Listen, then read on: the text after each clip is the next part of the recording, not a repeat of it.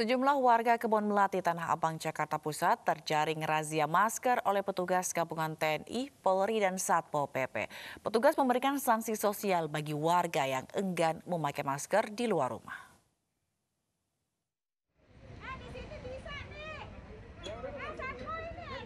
Petugas gabungan menggelar razia masker di kawasan Kebon Melati Tanah Abang, Jakarta. Dalam razia kali ini polisi menyisir para warga yang tidak memakai masker saat beraktivitas di luar rumah. Satu persatu warga yang kedapatan tidak memakai masker kemudian didata dan diberi sanksi sosial dengan membersihkan perumahan dan memakai rompi orange bertuliskan pelanggar PSBB selama satu hingga dua jam disaksikan warga lainnya. Ya alasannya itu karena keringetan. Jadi terpaksa kayaknya mau nguap gitu. Jadi meskipun ada anu saya nggak tahu. Ya jadinya ini. Tapi kan tahu kan aturan kalau misalnya kita kalau di, di, di luar rumah itu tetap pakai masker tahu kan tahu tahu. Hmm. ini kenapa kita memilih uh, sanksi sosial ini bang? Kenapa denda gitu bang? Kalau milih duit ya saya mah nggak punya kalau saat ini bang. Soalnya udah tahu krisis kayak gini ini kapok nggak bang ya nggak mau ngulangin lagi ya uh, untuk minggu-minggu berikutnya uh, kita akan uh, pindah ke RW lain terutama RW yang padat penduduk Dalam rahasia masker ini petugas menemukan setidaknya lima pelanggar. Selanjutnya pihak kelurahan bersama petugas gabungan akan terus menggiatkan rahasia masker terutama di wilayah padat penduduk.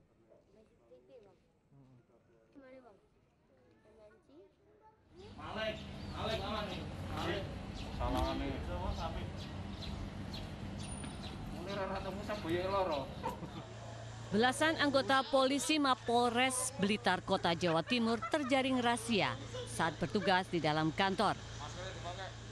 Mereka diberikan hukuman push up karena tidak memakai masker. Hukuman ini merupakan salah satu bentuk penegakan disiplin bagi anggota polisi di Mapolres Blitar Kota yang tidak menerapkan protokol kesehatan COVID-19 dengan baik. Mereka yang berbaju dinas maupun tidak tetap diberikan sanksi push up 10 hingga 20 kali. Ini sudah pada tahap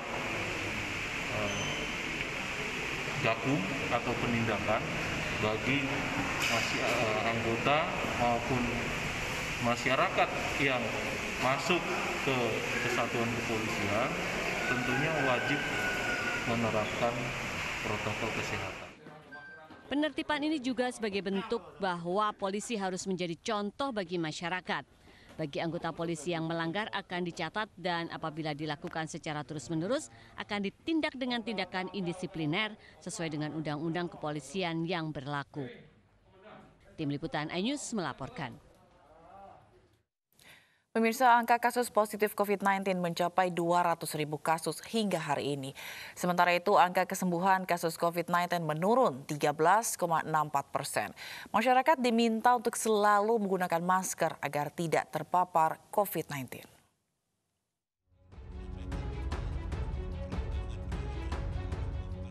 Kasus COVID-19 di Indonesia telah menembus angka 200 ribu kasus setelah bertambah 3.046 kasus pada hari ini.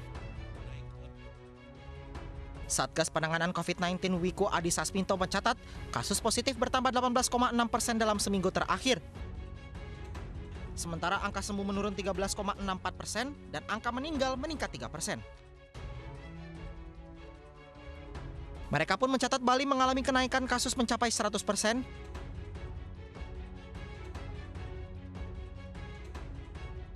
Disusul Sulawesi Selatan 84,4 persen,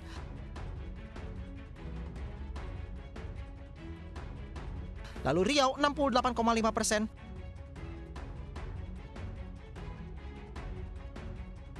Dan DKI Jakarta 31 persen. Pemerintah kembali mengingatkan warga untuk memakai masker untuk menekan COVID-19 di tanah air.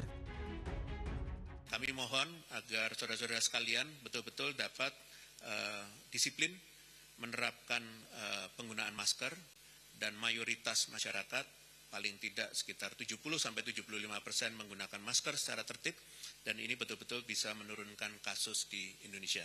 Mari kita buktikan uh, ini menjadi target kita bersama karena kita ingin melindungi diri dan kita ingin melindungi negeri.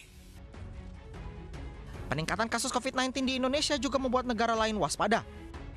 Amerika Serikat telah mengeluarkan peringatan bagi warganya yang hendak berpergian ke tanah air. Sebelumnya, Malaysia juga melarang warga Indonesia masuk ke negara mereka. Tim Liputan iNews melaporkan.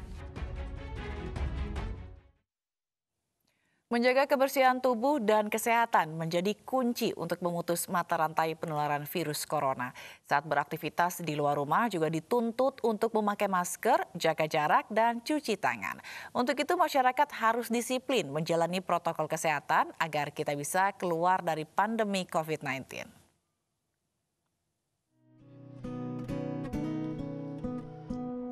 Pandemi COVID-19 di Indonesia masih belum usai seluruh elemen masyarakat harus kompak mencegah penularan virus ini.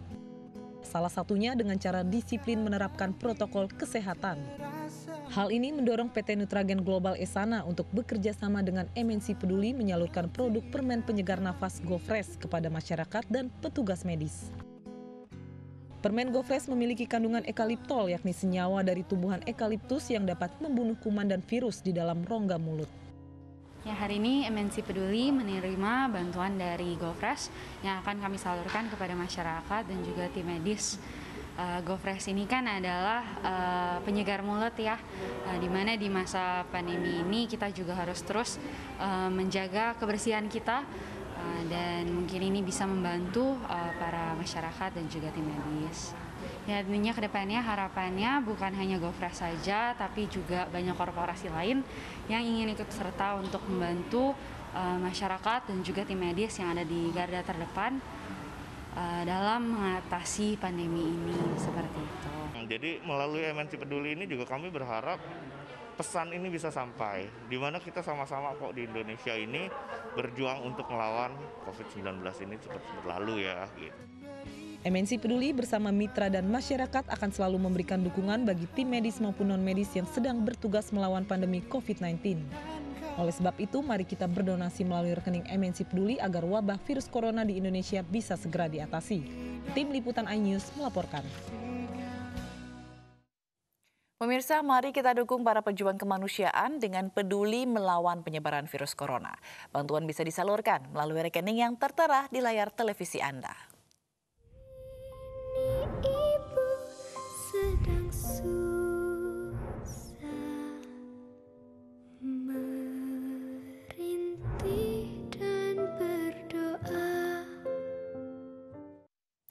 Mantan pelatih timnas Indonesia, Alfred Riedel, meninggal dunia di Austria.